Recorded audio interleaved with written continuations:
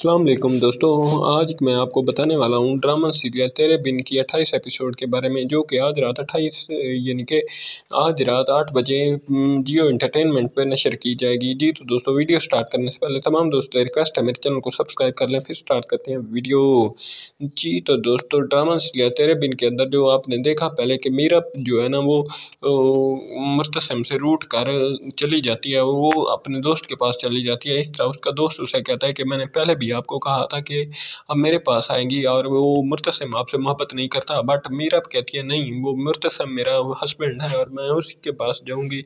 तो इस तरह वो आपस में बात कर रहे होते हैं, अट्ठाईस एपिसोड के अंदर वो आपस में दोनों बात कर रहे होते हैं मीरा और उसका फ्रेंड के अचानक मुर्तसम की एंट्री होती है और मीरा पर मुर्तसम को देख कर हैरान रह जाती है कि वो कहता है कि मैं आपको नहीं ले आऊँगा, लेकिन वो जल्द ही मीरा को लेने पहुँच जाता है। जी तो दोस्तों, मजीद ऐसी इन्फॉर्मेशनल वीडियो देखने के लिए हमारे एपिसोड हमारे चैनल को सब्सक्राइब कीजिए, फिर मिलते हैं नेक्स्ट वीडियो में। अल्लाह हाफिज़।